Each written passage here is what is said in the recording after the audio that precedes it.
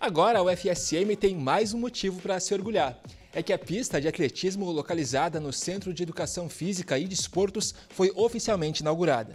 A cerimônia de abertura e corte da faixa contou com a presença da ministra do Esporte, Ana Moser, e de outras autoridades. Então, uma pista como essa aqui na cidade de Santa Maria é, é um polo de uh, treinamento e competição de atletismo para o Rio Grande do Sul. Né? Então, isso né, traz mais gente para esse campus, traz mais gente é, para a cidade e é uma, uma oportunidade de realmente realizar esses encontros em torno do esporte. Os trabalhos no local começaram em janeiro de 2020 e a pista já é usada pelos alunos desde o ano passado. A nova estrutura possui 400 metros de percurso e oito raias. O antigo piso à base de carvão foi substituído pelo sintético emborrachado.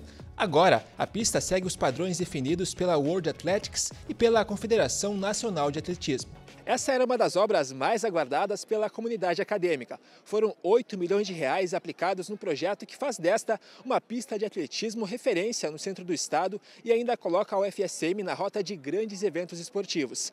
Parte do valor também foi destinado para o reparo dos banheiros, vestiários e até na construção de uma nova academia para o centro.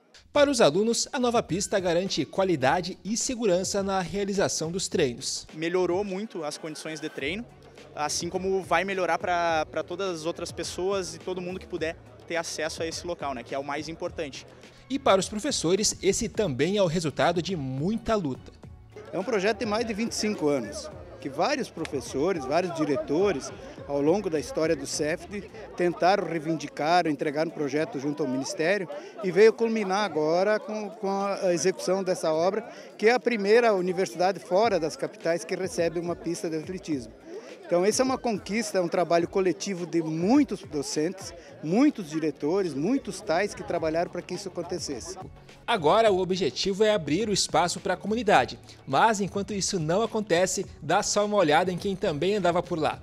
Essa galera faz parte do Festival de Mini Atletismo do Cefid, uma forma de apresentar os pequenos à universidade, um lugar que também é deles teve um, um custo bem alto para ter uma pista nesse padrão, onde pode ter competições muito legais e saber que as crianças, talvez experienciando um pouquinho de um dos esportes bases, uh, vai, sabendo que vai agregar bastante para eles, né? brincando, se divertindo, conhecendo a universidade e principalmente fazendo um vínculo que, que aproxima eles desse, desse momento. E por aqui todo mundo é vencedor, viu? Porque o intuito é esse, é incluir. Então a criança chega aqui e ganha uma cor, mas ela vai conhecer criança de outro lado da cidade. Então eles têm esse momento de de amizade com outras crianças e mais do que isso, todos são vencedores.